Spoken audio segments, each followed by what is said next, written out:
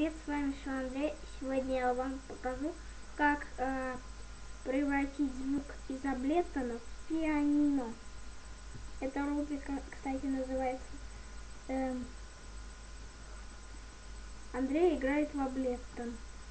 Короче, выбираем звук.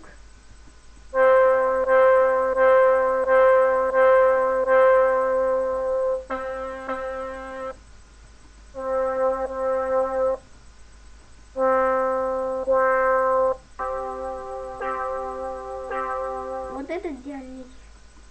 А, переносим его на строку. Подправляем его чуточку.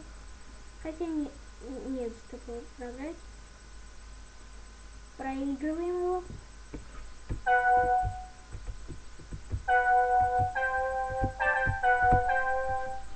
Сейчас я жму на, на клавиатуру.